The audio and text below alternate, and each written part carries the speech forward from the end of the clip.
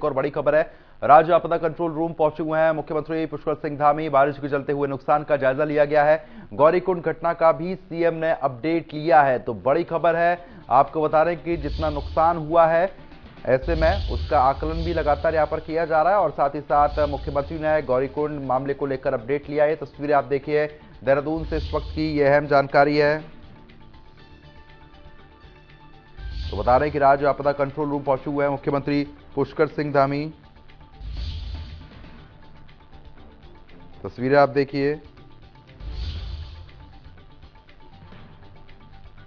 बारिश के चलते हुए नुकसान का जायजा लिया गया है। और साथ ही साथ आपको बता दें, गौरीकुंड घटना को लेकर भी मुख्यमंत्री ने अधिकारियों से अपडेट लिया है, क्योंकि लगभग 12 लोग तो अभी बताए जा रहे हैं, जो कि लापता हो गए हैं। रेस्क्यू ऑपरेशन तेज़ी के साथ चल रहा है, ऐसे में मुख्यमंत्री हर एक चीज़ पर नज़र बनाए हुए हैं।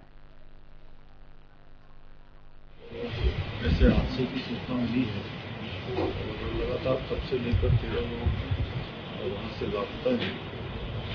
उन सभी की खोजबीन की जा रही है और जो ज़रूरी सहायता है वो भी की जा रही है और जो लोग उसमें लापता बताए जा रहे हैं हादसे उनके जो उसके रिश्तेदार हैं नातेदार हैं उनको भी संपर्क किया जा रहा है कि इससे उचित प्रकार से उनका पता लगे।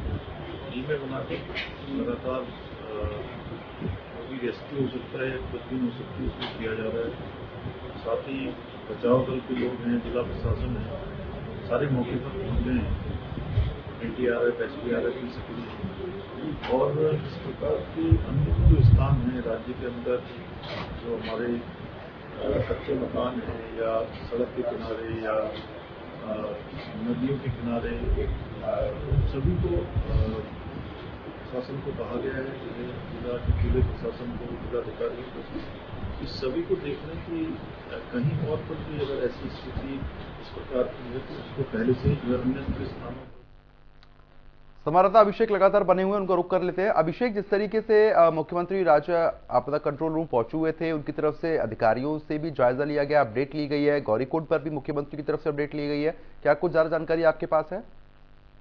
बिल्कुल, देखिए तो अभी थोड़ी देर पहले मुख्यमंत्री पुष्कर सिंह धामी करीब पौने ग्यारह बजे राज्य आपदा कंट्रोल रूम पहुँचे थे इसके साथ ही क्योंकि गौरीकुंड में जिस तरह की घटना हुई है, देर रात वहाँ पर जो मलबा आने से लोग लापता बताए जा रहे हैं, रेस्क्यू ऑपरेशन चल रहा है। उसको लेकर के घटना के तुरंत बाद से जो रुद्रप्रयाग डीएम है, एसएसपी है वहाँ उनसे मुख्यमंत्री ने बातचीत की है, ताज़ा स्थिति का जायजा लिया है और उसके बाद तुरंत सीधे वो राज्य आपदा कंट्रोल रूम पहुँचे हैं। वहाँ पर जितने भी अधिकारी हैं जो इस पूरे घटनाक्रम को मॉनिटर कर रहे हैं रेस्क्यू को मॉनिटर कर रहे हैं, उन सभी से अभी ताज़ा स्थिति की जानकारी उन्होंने ली है। इसके साथ ही इस पूरे जितने भी लोग लापता बताए जा रहे हैं, उनके परिवारजनों, जितने, जो भी लोग लापता हैं, उनके परिवारजनों से संपर्क करने के लिए अधिकारियों से कहा गया है और साथ ही ये पूरा जो रेस्क्यू ऑपरेशन है, उस पर भी पल पल का अपडेट मुख्यमंत्री पुष्कर सिंह धामी ले रहे हैं। अभी थोड़ी देर पहले वो राज्य आपदा कंट्रोल रूम से निकले हैं और उन्होंने अधिकारियों को साफ़ निर्देश दिए हैं कि इस इस तरह की कोई भी जो घटना है या स्थान ऐसे हैं जहाँ पर जो है लैंडस्लाइड या फिर जो इस तरह से पानी आने का मलबा आने का खतरा है तो वहाँ पर जो है लोगों को तुरंत विस्थापित किया जाना चाहिए। यानी